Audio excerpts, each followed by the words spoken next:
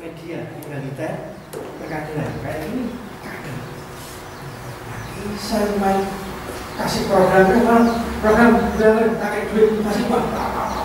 Uang kerja kerja kerja kerja kerja kerja balik balik habis duitnya pak kerja lagi dong oh ya tidak bisa.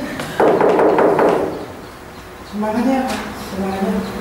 Lawan itu yang namanya kezaliman. Lawan itu yang namanya kemunduran apa bentuknya waktu waktu itu? Bentuknya adalah penjajahan sekarang ada penjajahan kan nah anda yang harus membuat desainnya. Saya cuma tadi malam kan sudah mau ngomong itu kan atau lupa lagi? Sudah ngantuk ya? Bagus lah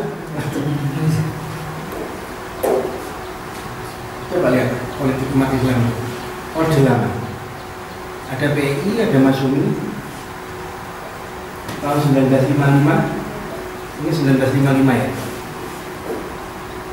nanti ini orde baru 1965 sampai 1998 ini sekarang.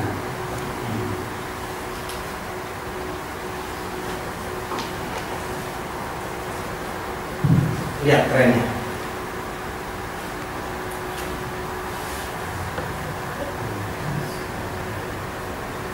Tahun 1955 itu kita sampai mencapai 45 persen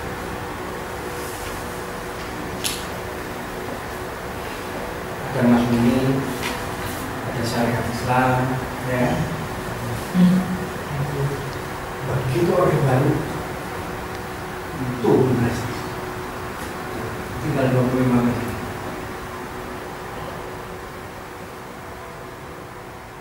ya P3 itu kambosi sama Golkar tahu nggak? Berapa orang ke mana-mana itu.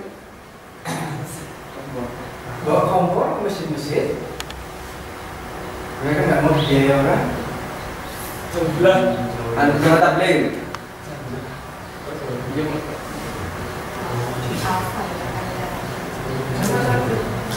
Orang habis.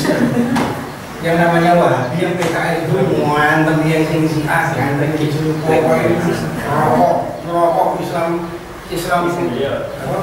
Islam Nusantara, neraka. Ini, ini Wahabi, surga. Makanya saya sekarang itu kebetulan saya itu nggak bisa mengeluarkan jenggot. Saya panjangkan aja rambutnya. Kok bisa? Rasulullah itu nggak panjangkan jenggot panjangkan rambut kalau mau perang. Bahkan kalau perlu dicek. Sunnah nih. Ayo di PKS pani. Rambut panjang berapa makanya sekarang tak rambutnya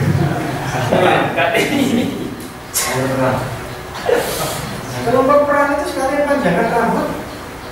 Kepanggungan cat abang sini cat hijau. Rasulullah begitu loh. Orang perang itu.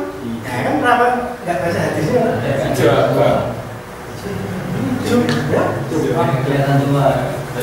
Satu supaya nggak kalau mau perang itu malah di sini makanya jangan gini loh maksud saya jangan mem memfit komplit sesuatu sehingga kita ini gini ini isu-isu yang luar biasa kita dibentuk karena bisa dijawab saya menang siapa? Ahok iya kan? anda tahu sejarah? 1824 anak 1824 18 1816 sama kan? 1817 sama kan dengan tahun sekarang? 2017 16 2016 nanti 2017 apa lagi? 2015 2017 itu eh 18 16 18 17 itu siapa yang menang di Jogja runtuhnya Kesultanan Mataram So, uh, wali kota Jogja ini siapa? Cina Ya, mau sejarah? Sini, eh kalau sudah yang namanya orang-orang Cina itu menguasai pemerintahan maka itulah puncak kehancuran Islam. Tahu nggak Semarang? Siapa?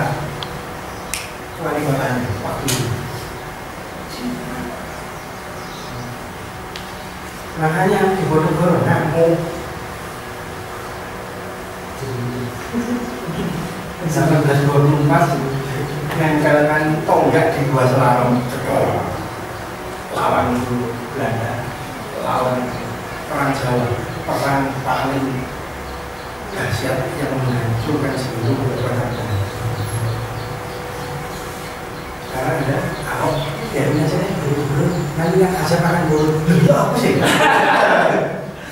Gimana sih? Itu gua aja ngerti itu nggak usah belajar itu Quran memang gitu tapi kan harus harus bergerak ya kan? isu kita dihabisi oleh isu yang kedua agenda liberalisasi individualisme islamisasi depolitisasi semua anak-anak sekarang gampang aja Facebook anak-anak muslim berani komentar kalau Islam digebuki LGBT ya memang gue bikin yang penting gue tetap nafsu sama cewek kan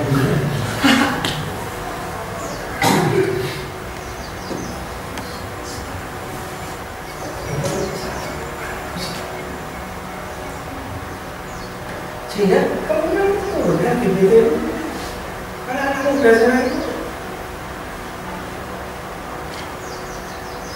orang yang masih suka jadi aktivis ayo di kampus-kampusnya masing-masing guys. Dicek aja. Yang suka politik di kampus siapa? 75% anak-anak kampus suka ngafe nggak? Iya. Anda ajak untuk pengajian rasa rasa anu rasa apa kemiluan nggak usah.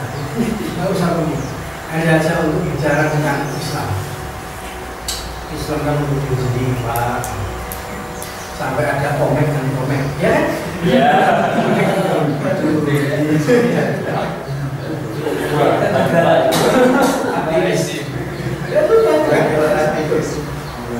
aktivis sama anti aktivis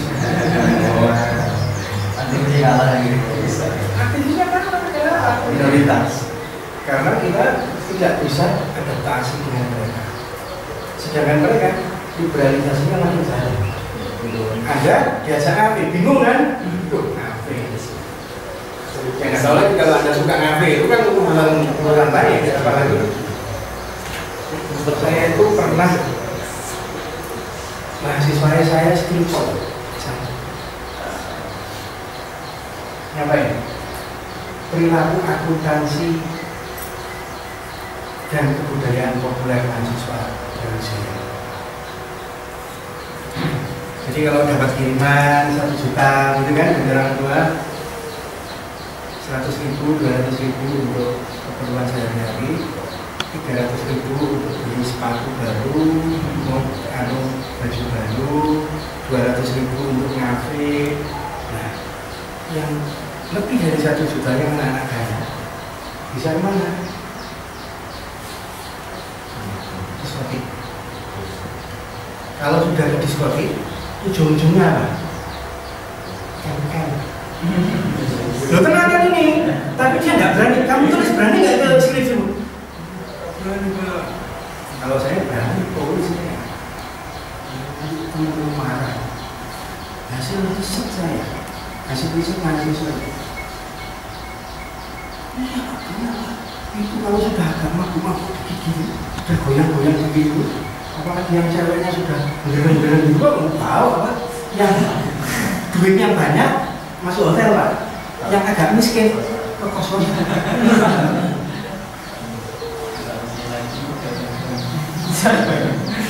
agak miskin lagi ke taman-taman itu kan TikTok. Oh, Jalan jalan. itu 75 persen mahasiswa kita kayak gitu kamu mau apakan dia mahasiswa kayak gitu mau didiamin? Yang penting saya saya sudah berikrar saya akan menjadi orang baik kemudian saya akan berkuasa di anu, mengubah situasi kampus. Habis itu saya jadi anggota DPRD pak. Jadi habis itu jadi bupati jadi presiden. Terus emang kalau sudah gitu mau ngapain? Emang kalau sudah jadi presiden jadi bupati jadi DPRD situasi berubah.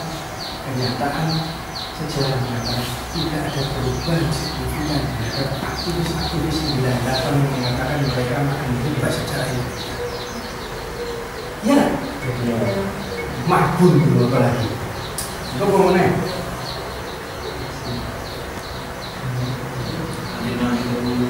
Kalian dari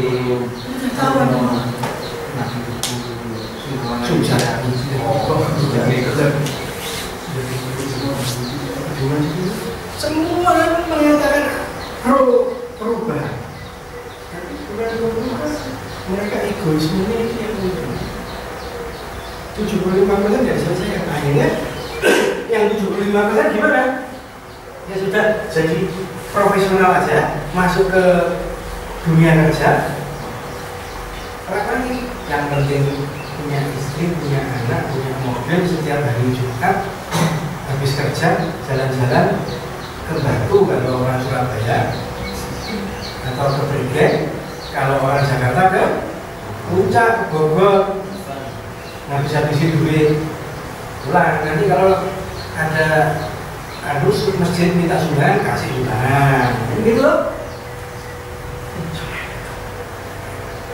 Tapi situasi perubahan seperti itu so intelektual gimana apakah itu tugasnya intelektual?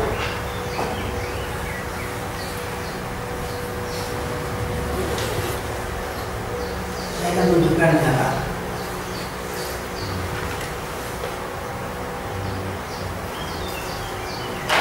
gara-gara hasil pendidikan nasional kita tahun 2030 itu sudah diprediksi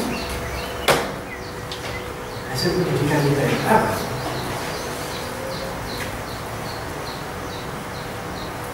Sekarang yang namanya mas, masyarakat kelas menengah itu 45 juta jiwa.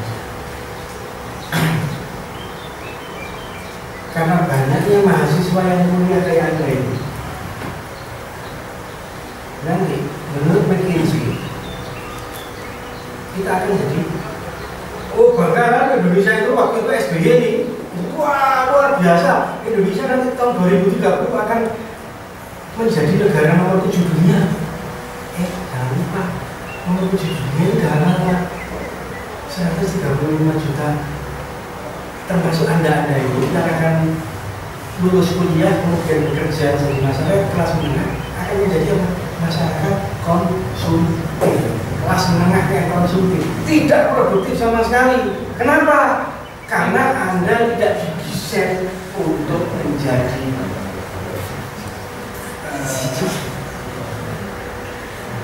orang-orang yang punya profesi. Anda didesain untuk menjadi masyarakat pekerja.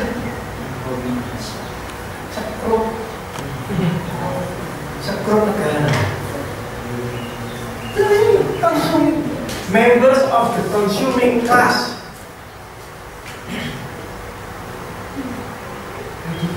Skill workernya berapa? Anda ini pekerja-pekerja yang berkeahlian 113 juta.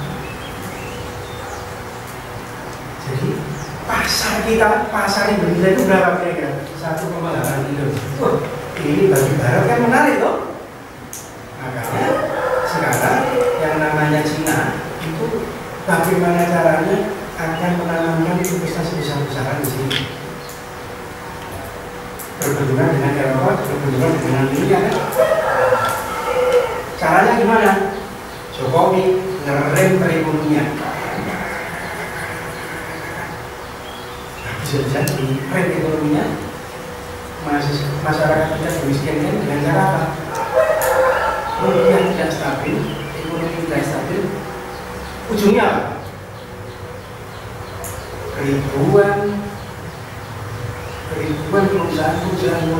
multinasional di Indonesia hilang.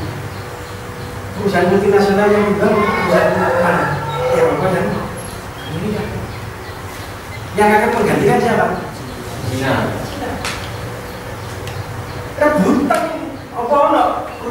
Indonesia.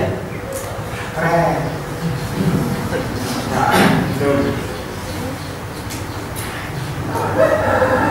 Karena apa? Kita didesain seperti ini.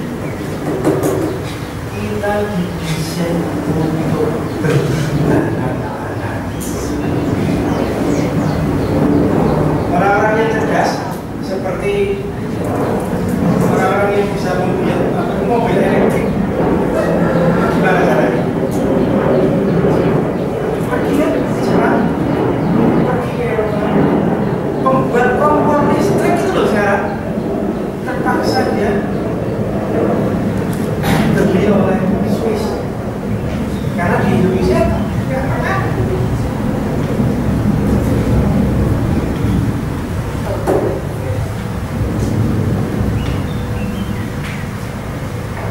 Jadi simpulannya apa? jangan jangan sekedar dulu jangan jadi intelektual. Nggak laku. Hmm. yang paling laku apa? politisi pengamat. Pengamat politik. yang politik satu yang kedua politisi beneran jadi anggota dewan itu nyolong sebanyak-banyaknya jadi bupati nyolong sebanyak-banyaknya karena kan trennya itu kan